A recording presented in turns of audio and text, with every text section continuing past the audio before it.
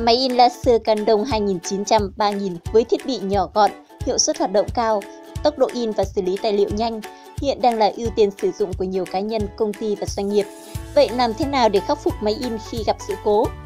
Khóa học sửa chữa máy in laser Canon 2900-3000 được giảng dạy bởi Giám đốc Trung tâm dạy nghề công nghệ cao Bách Khoa Vũ Văn Vĩnh sẽ cung cấp cho bạn kiến thức chuyên sâu về máy in laser cùng phương pháp kiểm tra sửa chữa các bệnh trên thiết bị. Khóa học dành cho các bạn đang theo học tại các trung tâm dạy nghề, các trường trung cấp nghề, cao đẳng nghề, các bạn đang làm trong lĩnh vực điện tử, máy tính, cần bổ sung kiến thức nâng cao trình độ, học thêm nghề mới. Sau khi học xong bạn sẽ hiểu được nguyên lý hoạt động, cách tháo lắp, độ mực máy in và cách xử lý hư hỏng, cách sửa chữa khối nguồn sung, khối cao áp, khối sấy, khối vi xử lý, hộp gương, giúp bạn tự tin sửa chữa các bệnh từ đơn giản đến phức tạp trên các loại máy in laser. Hãy đăng ký tham gia khóa học trên unica.vn.